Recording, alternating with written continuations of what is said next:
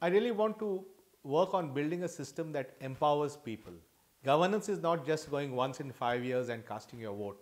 It's about everyday life, about making sure that the garbage is collected, making sure that the roads are fixed, making sure that the buses are on time, and that people have access to opportunity. So I'll focus on how to make opportunity accessible and uh, to all, to make sure that information is available to all, to make sure that the government systems are accountable, that there are standard ways for people to report their problems and grievances and have them solved. So I look for ways to empower people in their everyday life.